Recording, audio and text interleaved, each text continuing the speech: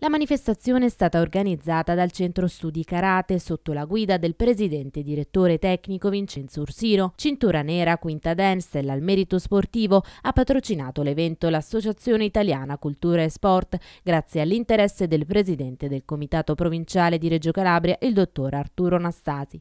I karateka si sono affrontati nelle prove di kata tradizionali giapponesi, specialità davvero complesse dove la tecnica, la potenza, il bloccaggio articolare, il ritmo, l'espressione espressività sono i parametri di valutazione che hanno decretato il vincitore finale.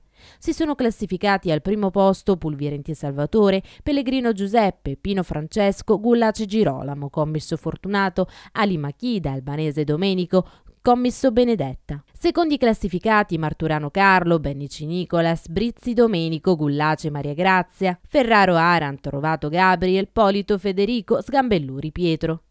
Terzi classificati Nizio Francesco, Cataldo Giulia, Lombardo Domenico, Crimeni Ezio, Costa Pietro, Sgambelluri Antonio, Tedeschi Alberto, Tedeschi Agostino. Il centro studi karate del maestro Vincenzo Orsino sta preparandosi per i prossimi campionati mondiali di arti marziali che si disputeranno nel mese di ottobre.